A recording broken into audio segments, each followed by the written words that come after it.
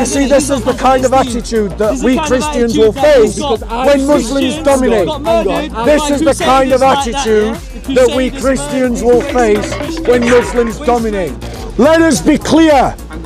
If this man that you saw on camera, Islam instructs that he should be killed. Hate speech in Quran. Yeah, The hate speech in the Quran. yeah, yeah, yeah. Because I'm gay, they are all homophobic in the Quran. Homophobia, you know. And to those good Muslims, I say that if you're condemning the practices of your own religion, leave it. Stand up for yourselves, Christians. Find your balls and start speaking up for your brothers and sisters around the world.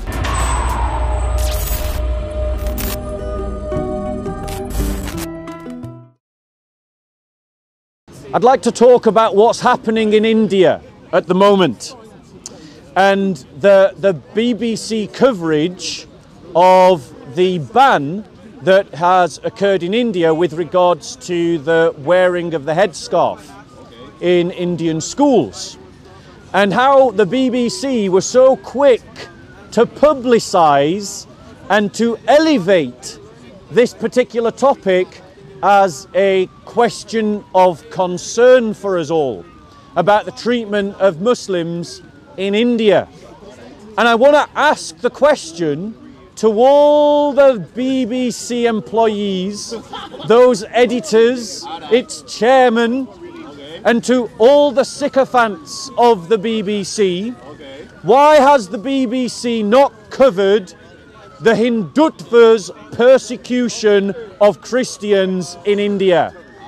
Destruction of churches, harassment of pastors, beating of Christian villagers. All of these things have occurred in India, and the BBC had nothing to say about it. Nothing. But the moment a headscarf gets banned in a Hindu school. The BBC are all over it like a rash. now, what is that telling you about the liberal progressives?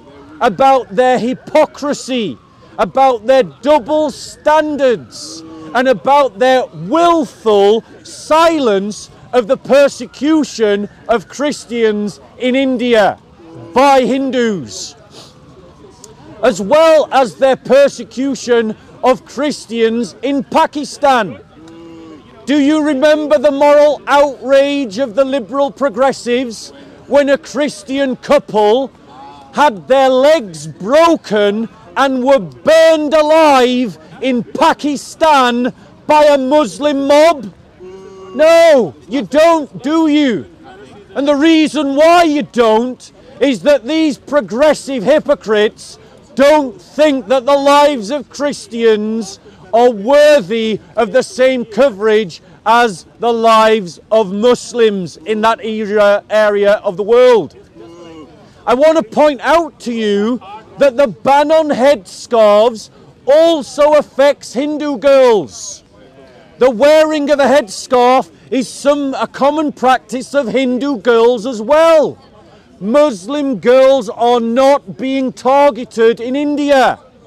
And you can see that because the response of the Hindutva movement was to hand out orange scarves to Hindu girls so that they could wear them. So the BBC is portraying this like, oh, poor persecuted Muslims, whilst ignoring the fact that the same ban affects Hindu girls and ignoring completely the persecution of Christians in India. You don't need to take moral lessons from these hypocrites. Nothing.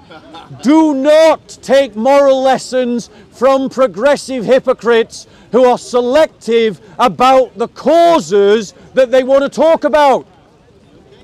They talk about the persecution of Uyghur Muslims in China. What about the persecutions of Christians in China? And let's be clear, ladies and gentlemen, if the Islamists that come to this park on a regular basis were ever to gain power in this country, I guarantee they will prescribe the activities of Christians, Hindus, and Sikhs in this country. Don't believe me. I'm a liar. I hear the Muslims say. I hear the comments in the comment section. Go and look at what the British government says about Saudi Arabia. Let me pull it up for you. Let me pull it up for you. I'll go and kill my phone now and get it covered in water. Bear with me one second. So, this is the British government talking about talking about Saudi Arabia. Okay, this is on the page of the British government's official website talking about the local laws and customs of Saudi Arabia. And why am I using Saudi Arabia as my example? Why? Because Saudi Arabia has been dominated by Islam for 1400 years. It is the purest example of what Islam looks like in practice. Listen, listen, listen, listen. This is from the government, Her Majesty's government, talking about Saudi Arabia. The public practice of any form of religion other than Islam is illegal. So the Muslims complain that France is discriminating against Muslims because they can't wear a face covering. They complain that Hindus are persecuting Muslims because they can't wear a headscarf, but they defend Saudi Arabia making any practice of any religion in public illegal. Do you see, ladies and gentlemen? They will do far worse to you than they suffer. They defend practices far worse in Saudi Arabia than they would have you condemn in India or France. Christians, you need, I just did, you need to pay attention. He actually said, Give me an example immediately after I read the example. How hilarious. So, ladies and gentlemen, ladies and gentlemen, do not be swept up by the deceitful narrative of Islamophobia. Do not allow that deceitful narrative of Islamophobia to blind you to the many and consistent examples of prejudice and Christophobia that exists in the Muslim world. Anti Christian pogroms in Pakistan, anti Christian pogroms in Egypt, the tearing down and destruction of entire churches, the annihilation of tens of thousands of Christians in Nigeria, the bombings of churches in Pakistan, the protests and outrage by Indonesian Muslims because a Christian was elected as the governor of Indonesia the kidnapping of a Christian pastor in Malaysia by the authorities. That is caught on film, making it illegal for Christians to proselytize to Malay Muslims, making it illegal to build new churches in Indonesia. The murder of Christians in Turkey, the attempt attempted genocide of Christians in Syria and Iraq the complete illegality to practice Christianity in public in Saudi Arabia. How many examples of Christophobia do you need to see before you wake up when I finished? Do you need to see before you counter the progressive narrative of Islamophobia by talking about the reality of Christophobia in the Islamic world. What about in the UK? What about the attempted murder of Nisa Hussein, caught on film? What about the suspected Islamist terrorist who tried to murder a Christian in this very park that the government has covered up because the police won't make it public that they are doing an anti terrorist investigation and the media hushed it over and hid it in plain sight. What about the suspected Muslim in East London who tried to tear down a cross? And let me give you two examples anecdotally from my own experience. I went to Morocco on holiday. I was walking through the streets of Morocco wearing my wooden cross, and a Muslim came up to me, pointing at my cross and going, No, no, no. And he was telling me to take my cross off. And a Muslim called me over and he said the Muslim was angry with me because I was wearing my cross near to the mosque. Here's another anecdotal, anecdotal evidence.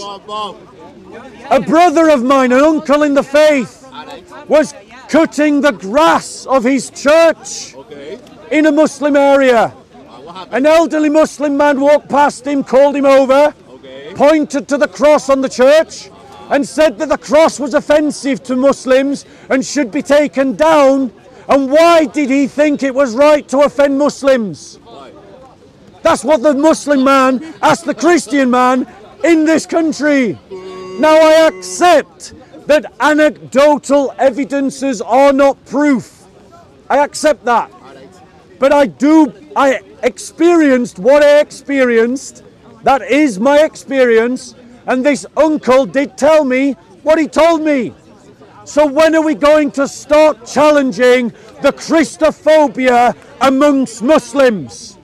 Stand up for yourselves, Christians. Find your balls and start speaking up for your brothers and sisters around the world. Deus Vult! Deus Vult! Deus Vult! Deus Vult! Deus Vult! Deus Vult! Okay. Any questions on that topic? Any questions?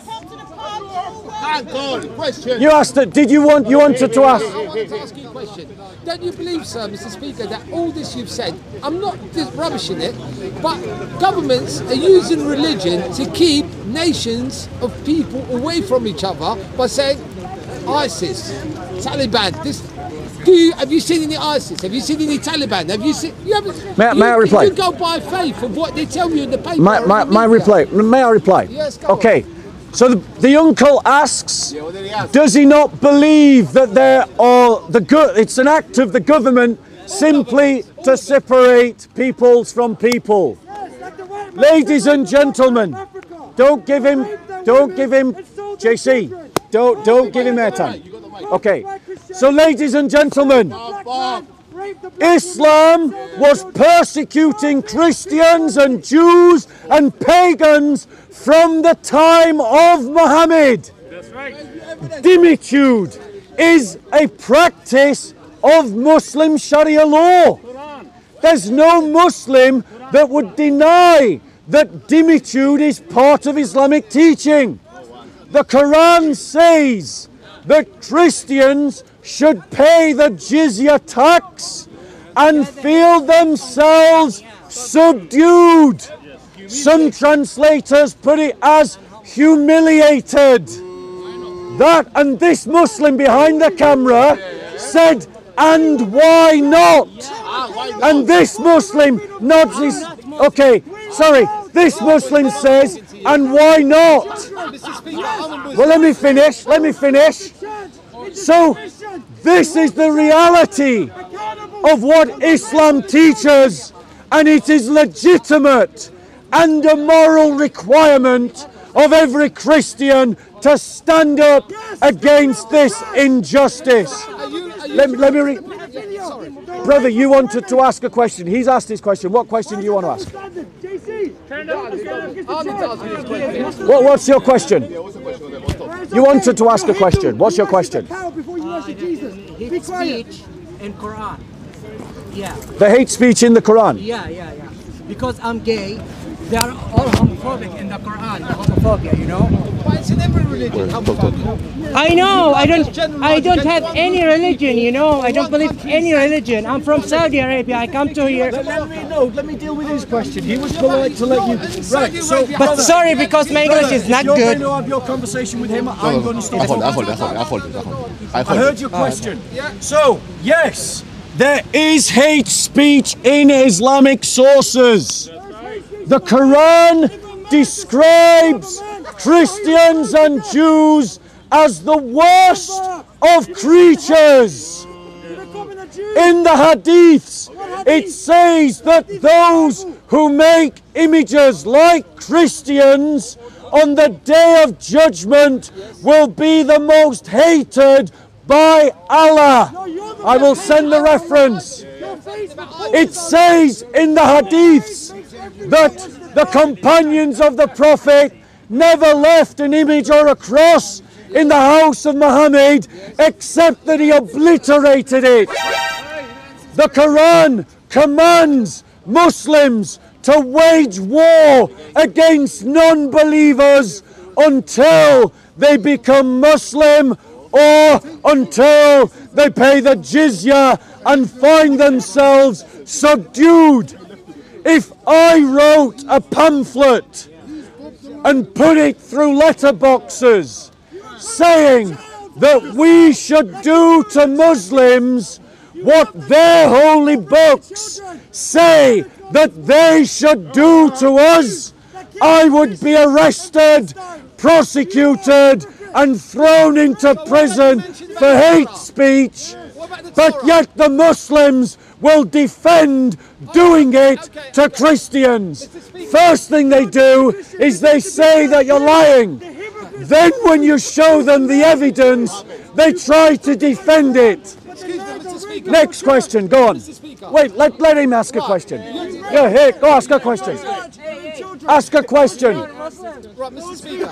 Ask a question on topic. The Vatican's that rape the children. Speak about that. Okay, Speak about fraud. so the brother asked a question that is completely off topic. Next question, you wanted to ask a question. are you denying it? Tell them about the rape of the church. I talked about hate speech. Yeah, Right, Mr. Speaker. I did talk about.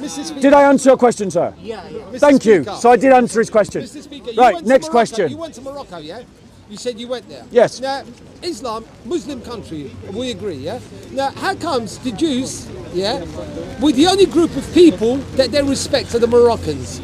I can go to Morocco, to Israel with a Moroccan passport and they won't stamp it just in case I want to go and do Hajj, yeah? Right? If I go with my British passport, they won't let me in because I've got a couple of convictions for the old whacking back and say you're a, you're a, drug dealer, yeah? You know what I mean? So, Islam, right? What you're saying is a lot of things that are there and they're not there because the kafar, they were persecuted. The Jews were persecuted by The the, kafar? The kafar, you know, the, the, the group of Christians, they kafar, they used to call him, yeah? Kafir, by the way, has the spiritual equivalent of calling a black man the N word. This is an insulting term Right, that that Muslims throw upon No, Christians. Muslim. It's hate speech. No, it it's an abusive No, term. it- Don't, uh, do not, do not tolerate Muslims calling you kafar. That's it, listen. It's an abusive language, linguistic term. There was a group of people named that in the history, yes or no? And who tho- those? Are Christians and Jews? Right. Right. No, I'm doing questions, sir. Not. I'm not having a. All right, but the point is, what I'm trying to say to you is, What's the question? The question is, there is no religion in this world, including the Jews. They said in their statement, we're God's chosen people. So what's the rest What's of us? the question? The question is, you're just targeting one particular re- religion about all the bad. What's the question? The question? question is, you're wrong. Right. So he hasn't got a question. But allow me to reply to his comment. Allow me to reply to his comment. The difference is that if I ask the Muslim to show me from the New Testament where persecution of Muslims or Jews is called for, they will not be able to find me a single verse.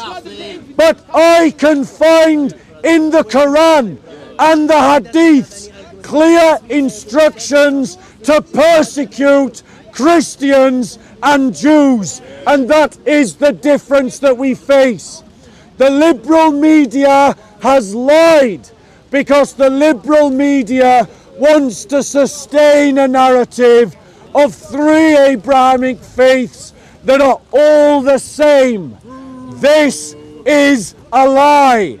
Christianity, Islam, and Judaism teach different things. They are different religions. They have different values. They have different beliefs. If Islam dominates a society, it looks like Saudi Arabia. If Christianity dominates a society, it looks like Europe or Ethiopia or Armenia. I was Muslim, but now I'm not. Oh, how shall we? He's, he, why, why have you left Islam? Because I'm gay. It's fucking relative. Yeah, Ah, okay, because you're gay, you left yeah. Islam. yeah. Let us be clear. If this man that you saw on camera, Islam instructs that he should be killed. Simple. Simple. If there's four witnesses to him having four witnesses. Four witnesses. Four witnesses. Now prove it. Prove it. Because four witnesses is to rape extramarital sex. That's what four witnesses is about. Extramarital sex is a pres- it's prescribed for uh, sexual relations, men and women outside of marriage. The first thing that Muslims do is always deny. The second thing that they do is try to defend. We see this in the park. We have countless examples on camera of Muslims defending slavery, sex with children, persecution of religious minorities, uh, waging war against unbelievers, raping women who are captured in war. We've got countless examples on Soko film, Sam. You should watch it more often. Can you provide that evidence No, like Dawah, they So, there you go. Liar! Liar! The? Where are your arguments? Just Should, in Sharia law, quick question. Sh- In Sharia law, should Christians be made dhimmis? Where you No. from? Where you get it from? Are you, are you saying that? Are you saying that all of those Muslims who say that Christians should be dhimmis is wrong? What mean dhimmi? What mean dhimmi? There you go. What? There you go. Here's a Muslim saying that I should be made a dhimmi. He's saying it. Is he wrong? Is he wrong? Is he wrong? Is he wrong? No. Answer the question. No. Answer the question. Okay, we're not having a conversation. So, go on. Uh, question. Dhimmi mean, you coward? What dhimmi mean? Why did not the Jews say the Muslims saved the Jews in Come here, come here, I'll answer you. Wait, wait, wait. No, it's all right. When the Muslims worship a cow. We don't worship when the Catholics took Yeah. one of the Jews, one of the intellectual Jews said the Muslims saved the Jews. So let, let me reply to that. What was the question? Repeat the question. So the question was if Muslims are supposed to kill the Jews, why did the Muslims save the Jews in Spain? Ah. The brother wasn't listening to what I said. I did not say that Muslims are commanded to kill the Jews. I said that the Quran instructs Muslims to wage war against unbelievers until they become Muslim or until they pay the jizya. You need to listen to what I said. But since he brought up Spain as an example, let us use Spain as an example. When the Muslims conquered Spain, they reduced Christians and Jews to second class citizens. They desecrated churches. They prohibited Christian practices. They allowed Muslims to have a higher status in law than Christians and Jews. For example, for example, Muslims could own Christian and Jewish slaves, but Christians couldn't own Muslim slaves. Muslims could marry Christian women, but Christian men couldn't marry Muslim women. And he says that it's true. And he says that it's true. So he says that it's true. So my thesis is correct. Islam is an apartheid system in which Christians and Jews will be made second class citizens. Islam, ha- ha- have you read any Quran? Have you read anything in the Quran? Have you read the Quran? Have you read the Quran? Are you a scholar on the Quran? How can you comment on something you And don't this is what the Muslims do. Whenever you call them out on what their ideology, I'm answering your question. You asked a question, allow me to answer it. You asked me a question, allow me to answer it. He asked, What are the Jews doing to the Muslims today? And this, ladies and gentlemen, is what you've got to be aware of. The moment you put your finger on the injustices of Islam, the first thing that the Muslims do is try and change the subject. They always try to change the subject and they often want to talk about what someone is doing to the Muslims. If my boat is sinking and your boat is sinking, does me pointing out your boat is sinking stop my boat from sinking? No! So simply pointing out that Muslims are the subject of injustice does not excuse the injustices of Islam. And if Islam is guilty of injustices, every good person should fight against it, and every good Muslim should leave it. Islam is the religion of justice, he says. Let me ask you a question. Let me ask you a question. Let me ask you a question. Let me ask you a question. Let me ask you a question. Let me ask you a question. If the British government passed a law that said in Britain that your life, in terms of compensation paid by the quote, paid by, paid by the court, would only ever be half my life because you're a Muslim and I'm a Christian, would you say that that was an example of Islamophobia? Without saying it officially, I've done it, I've done it across the world. You're not answering the question. They don't say You're not answering the question.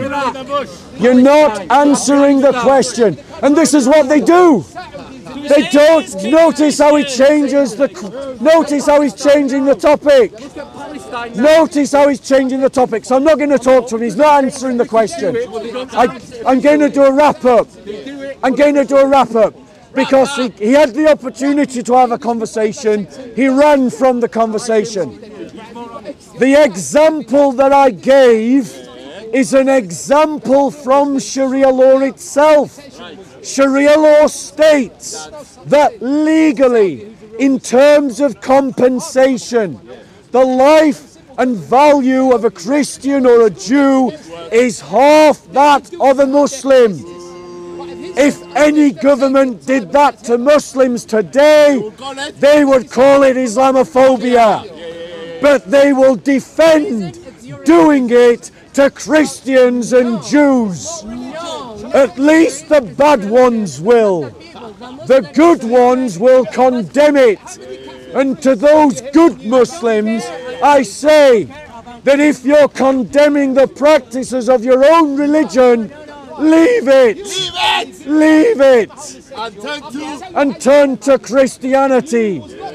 Because the Christian faith, when it is followed, establishes the equality of all human beings in the law.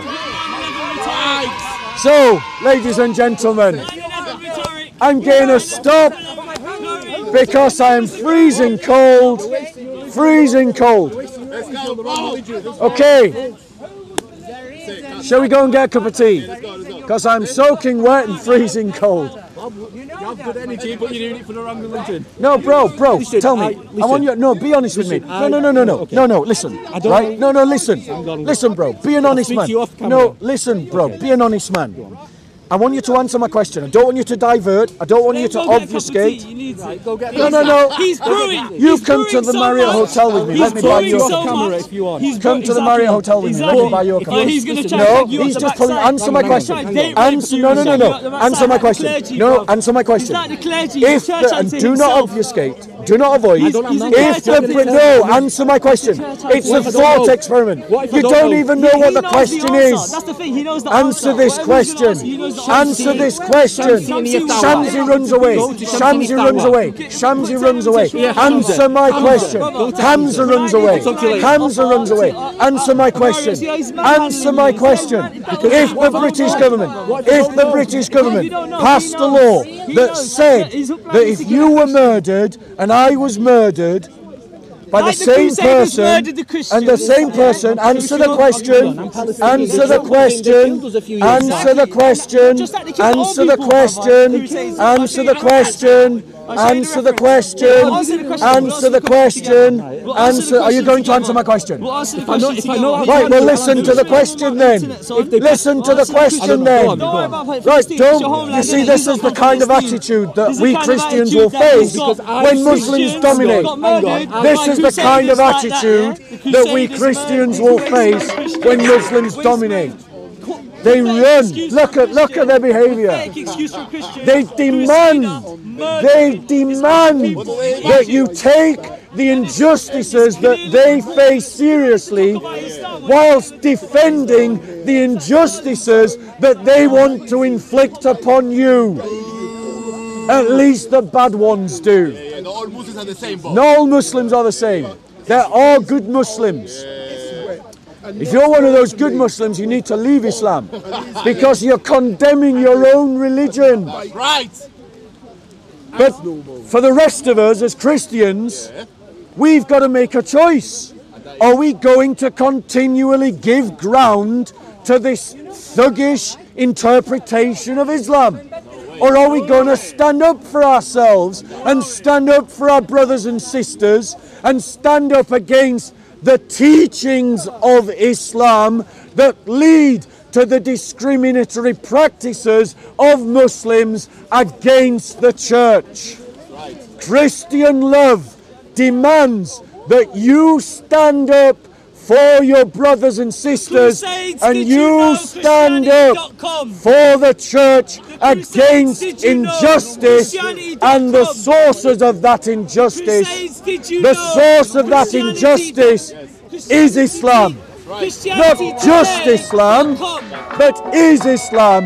And you should stand up to it wherever that injustice exists. Christianity Deus today. vult! Deus Vult!